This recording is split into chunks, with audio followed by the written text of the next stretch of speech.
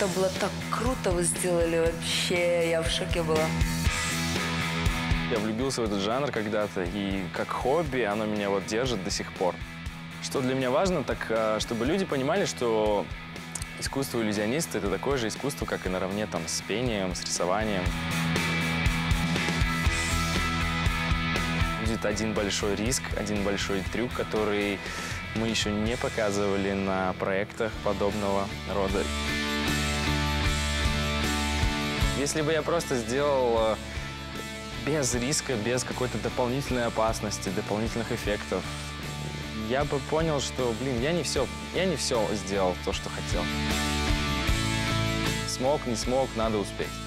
А Я очень дорожу репутацией, которую заработал за там, 7 лет выступлений. И сейчас, то есть, на кону не просто стоит победа или, ну, или участие.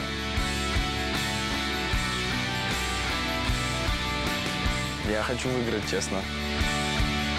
Для меня как бы уже некая такая победа есть, что я единственный иллюзионист э, в Центральной Азии, который выступает и представляет свою страну. Это круто. Но финал есть финал. Ставки высоки просто. Ставки высоки.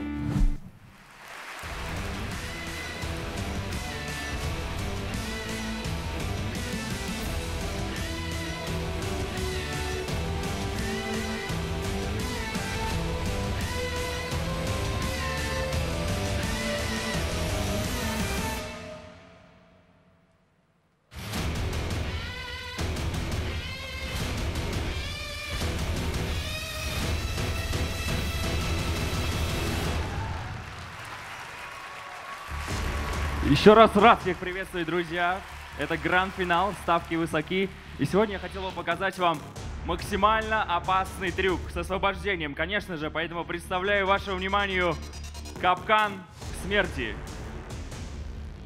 Этот капкан подобен гранате. Если выдернуть из него чеку, то ровно за одну минуту лопасти захлопываются.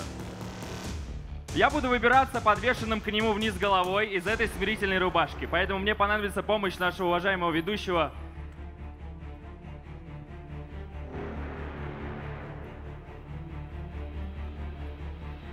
А, Дмитрий, что происходит? В данный момент меня закрывают в ремни на спине. Четыре ремня. Ремень снизу. Ремни, которые будут сковывать меня по рукам. И чтобы усилить и усложнить этот трюк, мы добавляем еще и цепи. Ух ты! Это действительно сложно, это действительно опасно. Только что меня задели сетью по ноге, она тяжелая металлическая цепью. Дмитрию нужно будет освободиться из смирительной рубашки, из цепей и спастись от этого страшного капкана, будучи...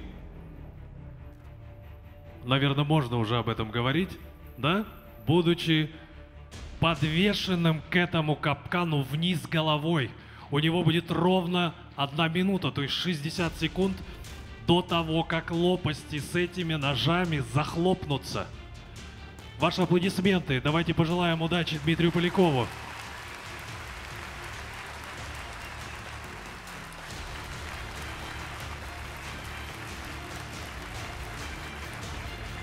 Итак, три, два, один. Время пошло.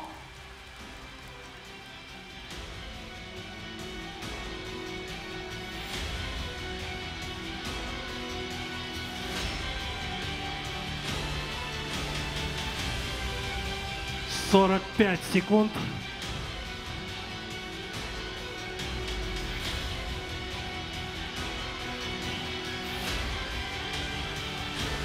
Цепи упали. 30 секунд.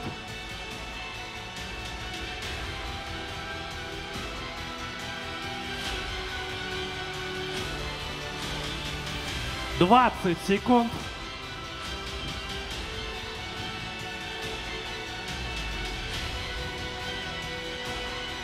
Десять. Вместе девять, восемь, шесть, пять, четыре, три, два, один.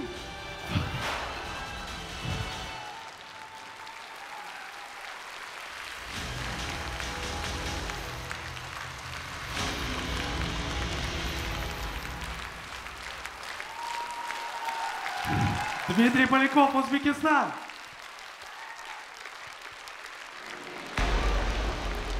Я понимаю, что это было очень страшно. Еще раз давайте наградим аплодисментами Дмитрия за этот поистине опасный номер.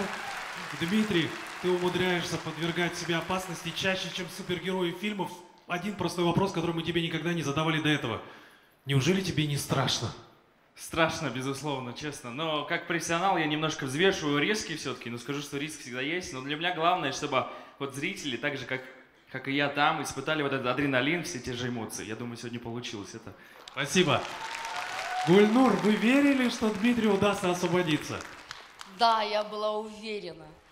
Дима, вы настоящий иллюзионист своего времени.